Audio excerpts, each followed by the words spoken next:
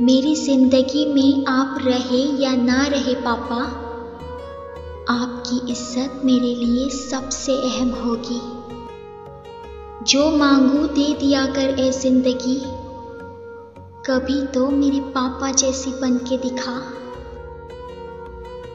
आज पापा की वो बात समझ आती है, जब वो कहा करते थे कि बेटा जब तुम खुद कमाओगे तब तुम्हें पैसे की कीमत पता चलेगी।